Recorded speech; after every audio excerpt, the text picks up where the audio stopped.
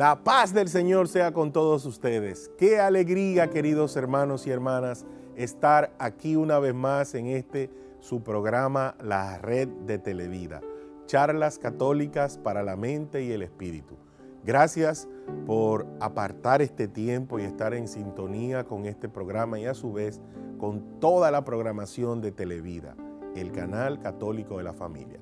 Recuerda siempre escribirnos a nuestro correo, la redtelevida.gmail.com. Aquí estamos eh, contestando muchas preguntas y apoyando muchas personas. Eh, ora también siempre por este canal. Este canal requiere de tus oraciones y también de tus donaciones. Por favor, llama y hazte donante recurrente del canal. Llama al 809 809 685-4100. Nuestro teléfono, el de Televida, es 685-4100. Ahí, cuando te respondan el teléfono, di que tú quieres ser donante recurrente de Televida. ¿Y qué significa un donante recurrente de Televida? Que usted puede decir, yo quiero contribuir con los medios digital, con los medios televisivos, con la radio mensualmente, con 500 pesos, por ejemplo.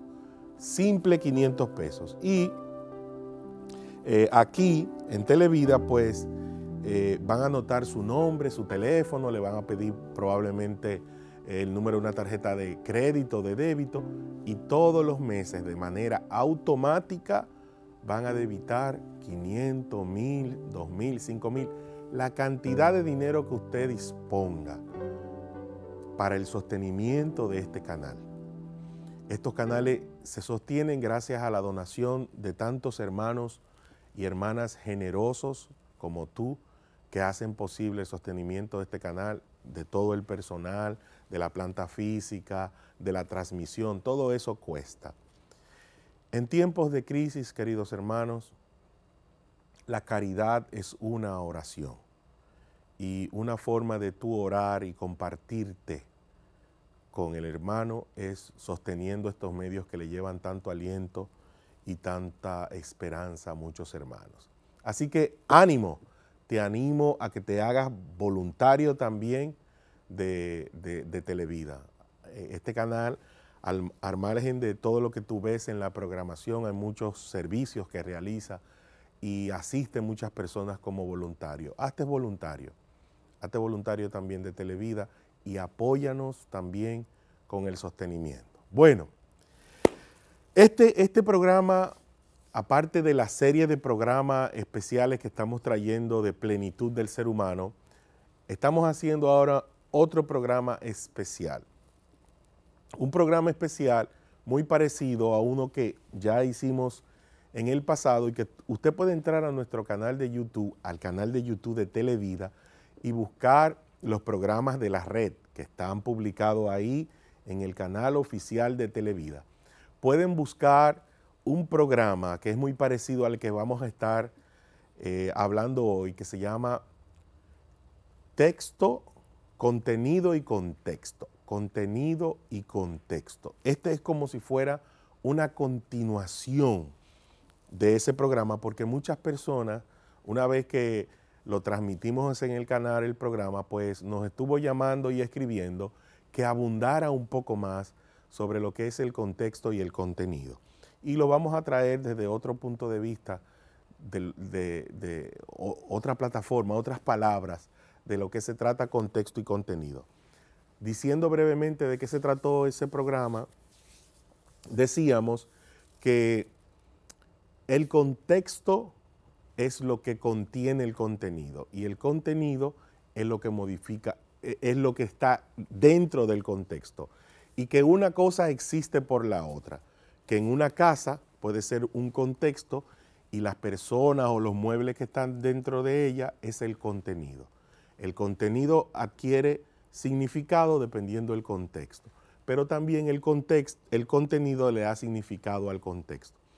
Y decíamos con especial atención que hoy en día estamos, no estamos teniendo cuidado con el contexto lingüístico en el que estamos habitando y con el, eh, con el cual nos estamos relacionando, con el cual estamos construyendo nuestro día a día.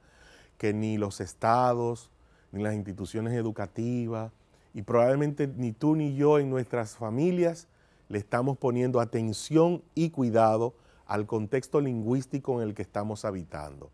Y que el contexto lingüístico que, da nuestro, que crea nuestro contenido mental y por defecto también crea nuestro contexto lingüístico porque creamos, repetimos y recreamos conversaciones a partir de lo que escuchamos y en el, entorno que nos desenvolvemos, es un contexto de ataque, es un contexto lingüístico de consumo, es un contexto lingüístico violento, es un contexto lingüístico degradante, degradable del ser humano que hoy en día todo se trata de yo tengo, yo tengo, tú tienes que tener, tú no tienes, yo tengo, yo tengo, el otro tiene, el otro no tiene, si tú no tienes, no esto, si tú no tienes, no aquello. Todo se trata del tener, de tener y que hay que hacer y que hay que hacer y el que más haga, que el más puede y el que más tiene es el que más vale, etcétera, etcétera. Y entonces eso nos está llevando a una necesidad de tener y a una necesidad de hacer cosas que si de repente tú no te ves haciendo cosas, pues entonces tú crees que no tienes valor. Si de repente no, no te ves publicando, que estás visitando, que estás paseando, que estás comprando, pues tú no estás en la onda. Si de repente no te ves luciendo lo que tienes, lo que adquieres, pues entonces tú eres un quedado. Si no estás exhibiendo lo que otra gente exhibe, pues entonces tú no estás teniendo éxito y entonces tú no tienes significado de valor en la vida etcétera, etcétera, etcétera. Entonces decíamos que si estamos dando lugar a esos contextos en nuestras vidas, entonces se está creando este contenido que es vivir una vida agitada, vivir una vida sobreocupada, vivir una vida pendiente de lo que voy a tener y de lo que voy a hacer. Y olvidamos, olvidamos la invitación y la enseñanza fundamental que Cristo nos dejó, que es, teniéndolo a Él como centro, encontramos la felicidad en comunidad, apoyando, sirviendo al más necesitado o sirviéndose entre comunidades. Hermano, es muy bonito y muy significativo adquirir cosas, tener cosas pero está demostrado que no trasciende para siempre en tu vida.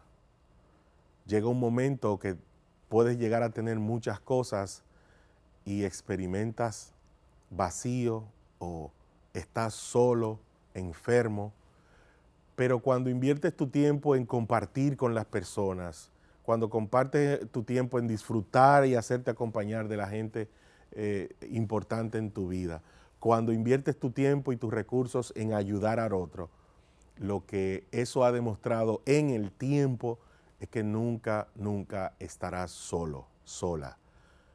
Entonces encuentras siempre felicidad, siempre encuentras compañía y probablemente, aún a altas edades, siempre tengas buena salud. Buena salud.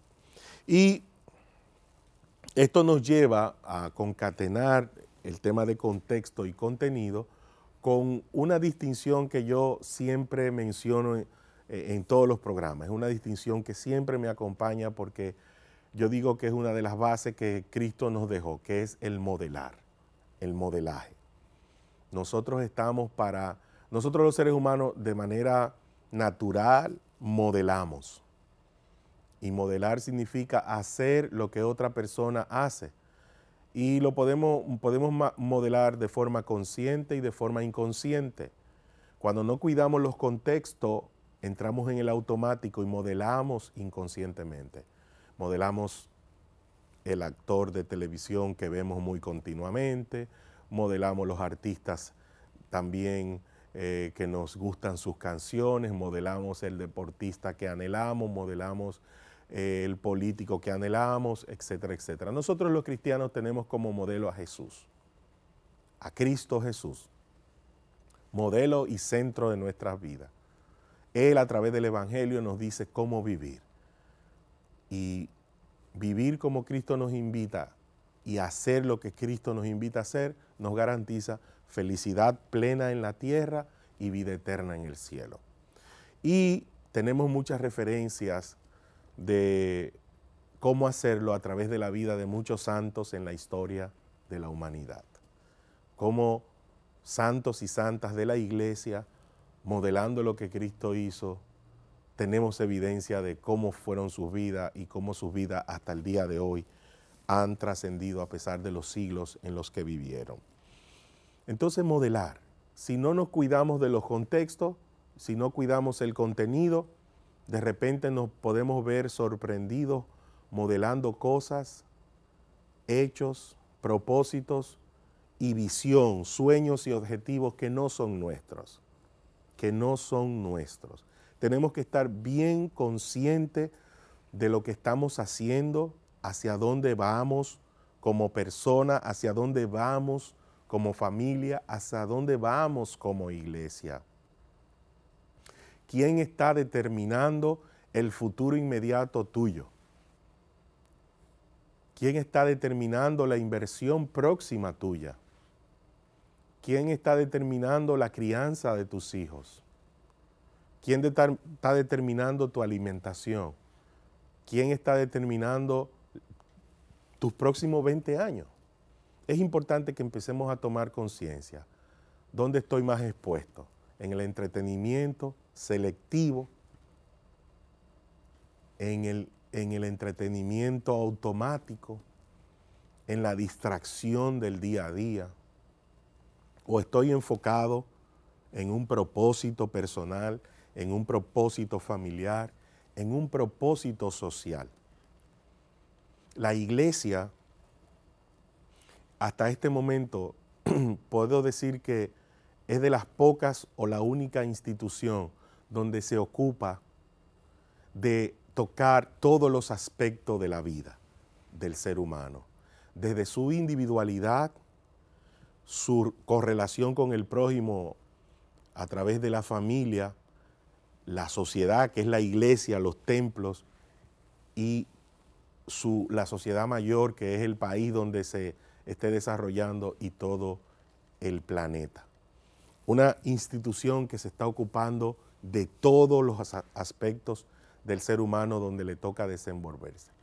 Y eso me conecta mucho como en los años 90, a finales, el Papa San Juan Pablo II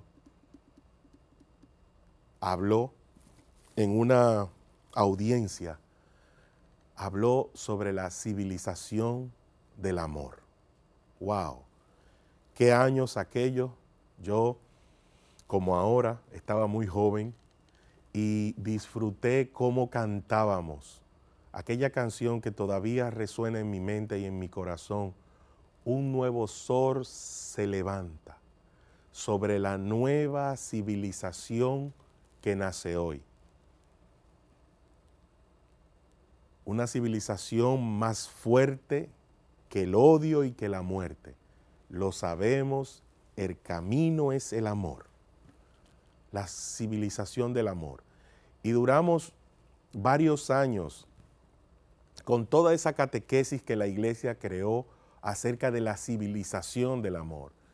Y probablemente yo que vengo del sur profundo que en el sur, por la dureza y la inclemencia del clima, no se habla de mucho amor. No, los sureños sabemos de lo que hablamos. Por allá la vida es un poco duro, como todos los sur del mundo. Los sur del mundo son duros, son en su mayoría áridos, a, excepto del polo sur, ¿verdad? Pero casi todos los sur del, mundo pues son difíciles. Y el, el nuestro también.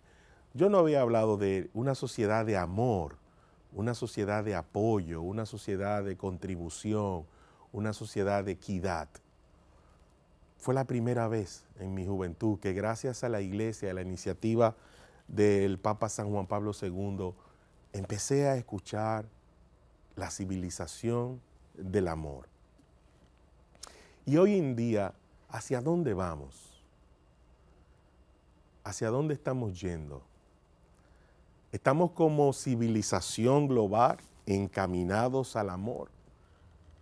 Sé que estamos viviendo tiempos difíciles, contextos en los cuales ahora lo importante es vivir, porque estamos atacados y sitiados por virus, pandemias y enfermedades que de verdad nos ha puesto a que nos ocupemos de estar vivos. Pero ya que estamos vivos, ¿qué más estamos construyendo como planeta, como civilización? Nosotros somos una civilización como. Y si crees que esto es muy amplio para ti de decir civilización, ¿qué carajo voy yo a pensar en la civilización? Pues vamos a llevarlo más pequeño. ¿Qué país estamos construyendo? ¿Cómo por quien tú eres y por lo que los dominicanos estamos siendo, la sociedad dominicana es qué? Es una sociedad solidaria, es una sociedad de amor, es una sociedad honesta, sensata, es una sociedad progresista. ¿Cómo somos los dominicanos? ¿Cuál es lo que nos ha estado identificando en los últimos años? Los que están desde fuera, cómo nos ven y cómo nos definen aparte de la alegría propia que la expresamos a través de nuestra música.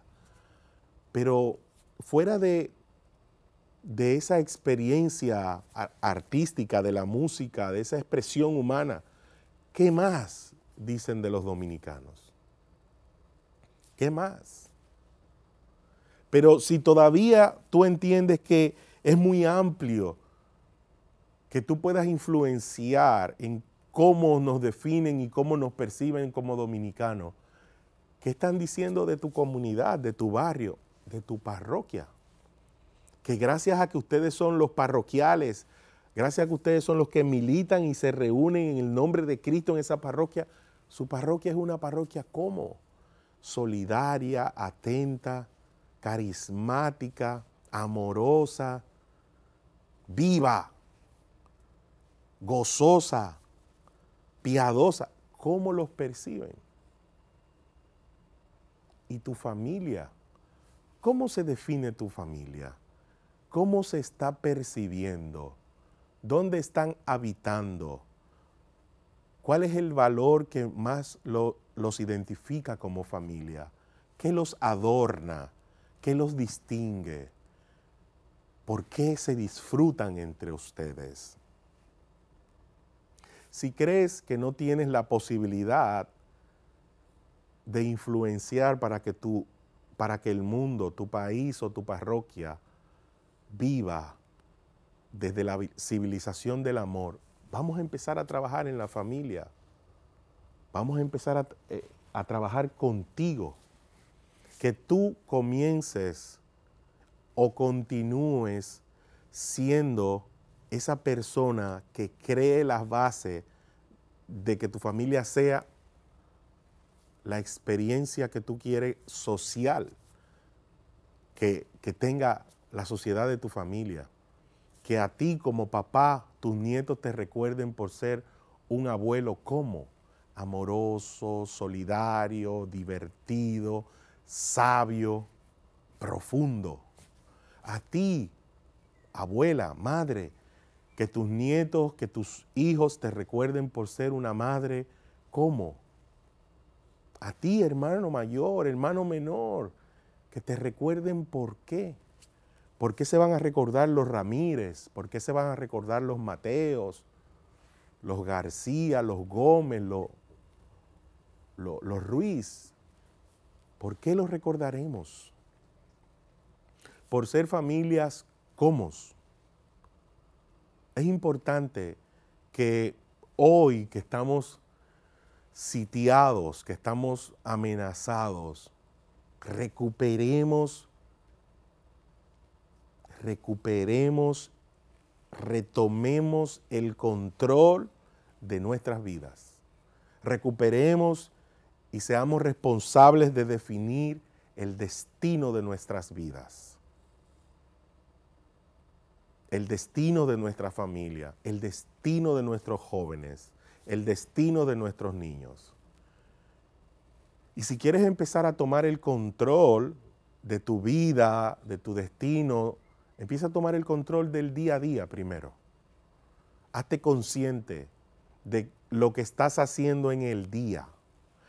Y pregúntate si cada cosa que vas haciendo te encamina o te aleja del fin último al que quieres llegar.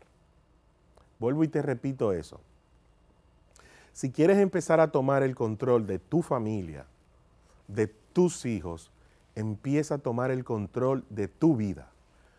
Y vas a empezar a tomar el control de tu vida haciéndote consciente si de lo que tú vas haciendo todos los días, momento a momento, te va alejando o acercando o encaminando hacia lo que tú quieres, a lo que tú quieres crear, acentuar, fortalecer, dejar como legado.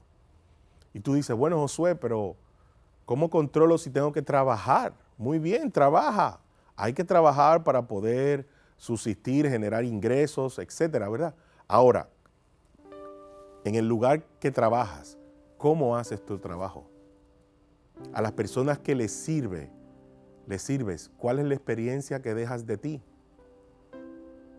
Eso es estar consciente de quién estoy siendo en cada momento. El tiempo que tienes libre, ¿en qué lo estás invirtiendo? En entretenimiento, en consumo, en, descanso. ¿En, ¿En qué? ¿En qué más? ¿En qué más puedes invertir tiempo? ¿A quién estás apoyando? ¿A quién estás apoyando a desarrollar? con quién gracias a tu apoyo la vida le está cambiando y está haciendo la diferencia para él o para ella. Cómo tus hijos a partir del tiempo que le puedas dedicar, mañana van a ser hombres y mujeres de bien para ellos, para su familia, para la República Dominicana y para el mundo entero. Cómo por lo que eres, eres presencia viva de Cristo. Comparte su palabra. Vive su vida. Hermano, es tiempo y empieza por ti. Y empieza por ti. Empieza por mí. Es tiempo de que nos atrevamos como parejas, como familias, como parroquias, a construir la nueva civilización del amor, de la solidaridad, de la esperanza. Es tiempo de que a pesar de la amenaza en la que vivimos, no olvidemos que queremos vivir que no se trata tan solo de sobrevivir, de que queremos vivir, que queremos compartir, disfrutar, que vivamos, eh, podemos empezar viviendo el lema del mes que publican en la parroquia, vivirlo en la casa. Todo lo que la parroquia hace como parroquia, tú lo puedes llevar a esa pequeña parroquia que es la familia y publicarlo en la nevera, refrigerador, en la habitación, en un mural. Vamos a vivir el lema del mes tal, la frase tal, el valor tal. Vamos a crear contextos adecuados. Vamos a establecerle a los niños horas fijas de irse a dormir. Vamos a definirle a los niños tiempos para estar en, diversión en tiempos en la televisión, tiempos en los videojuegos, tiempos en los celulares. Vamos a intercambiarle las actividades. Vamos a ponerle menos actividades visuales por más actividades físicas. Menos actividades individuales por más actividades colectivas. Compren un juego de mesas que puedan jugar en familia que se detengan a pensar, que tengan que levantar la mirada y conectar y hablar. Inviten a otras personas a la casa dentro de la seguridad de la salud, a que escuchen cómo piensan, cómo juegan, cómo, cómo comen, cómo negocian. Eso los desarrolla como humanos. Así que, hermanos y hermanas, con, con, este programa cerramos el que ya habíamos abierto sobre contexto y contenido. Recordarte que tú como ser individual, único creado por Dios, tienes la misión y la responsabilidad de con tu vida ser ejemplo y crear el mundo que Cristo nos invitó a crear y en el que debemos vivir. Y que el Papa San Juan Pablo II a finales de los 90 lo definió como una gran civilización de amor. Que a pesar de en el sitio que estamos sitiados y amenazados por todos estos virus que nos tienen asustados, ya empecemos de nuevo a vivir y no tan solo a sobrevivir. Y la forma que vamos a tener de vivir y sobrevivir es tomando el control de nuestras vidas a través de hacernos conscientes momento a momento de lo que hacemos, en qué invertimos nuestro tiempo, que si lo que hacemos nos aleja o nos acerca, nos aleja o nos acerca a lo que nosotros queremos construir para nosotros, nuestra familia, la República Dominicana, tu país o el mundo. Que el centro y el modelaje perfecto de ser humano es Cristo Jesús, que a través de su palabra nos enseñó cómo vivir felices en la tierra y ganarnos la vida eterna en el cielo. Hasta un próximo programa, queridos hermanos, de este tu espacio, la red de Televida. Por favor, sigue en sintonía con la programación de Televida, el canal católico de la familia, y hasta la próxima.